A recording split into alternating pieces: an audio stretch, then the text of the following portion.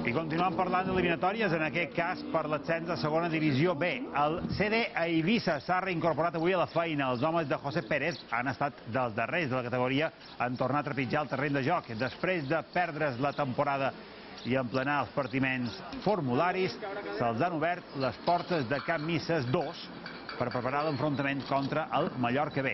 El conjunt d'Eivissenc disposa de tots els seus efectius, però per fer-ho, el seu tècnic pensa que l'opció de crear i disputar una mena de pretemporada entre els equips locals abans de disputar el playoff seria bo per agafar rodatge. Sería lo suyo, la verdad que nuestra intención es, es esa, pero bueno, eh, todo también eh, parte desde, desde el permiso de, de, del Consejo del Ayuntamiento para, bueno, de, de, las administraciones nacionales para que podamos eh, hacer algún partido eh, entre nosotros, aprovechando de bueno, de que dentro de la isla pues somos dos o tres o más equipos los que estamos ya entrenando.